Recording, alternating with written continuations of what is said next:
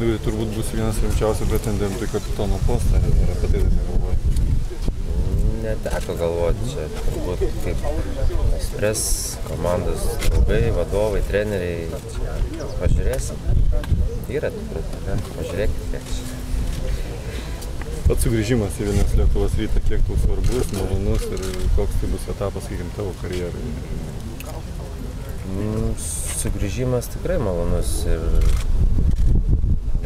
kad būčiau labai norėjęs iš čia išvykti, bet paprasčiausiai taip susiklostė mano karjerą.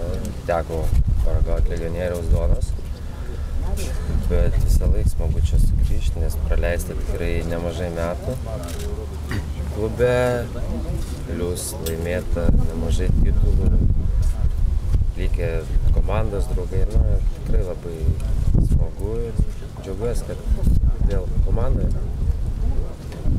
Manot, su treneriu jumis ir valiai, kad persikels į Lietuvos rytą dalis tos prienų dvasios ir, ir to tokio linksmo žaidimo?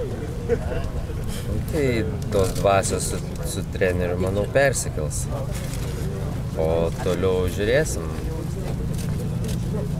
Dirbsim, kovosim, o rezultatai bus.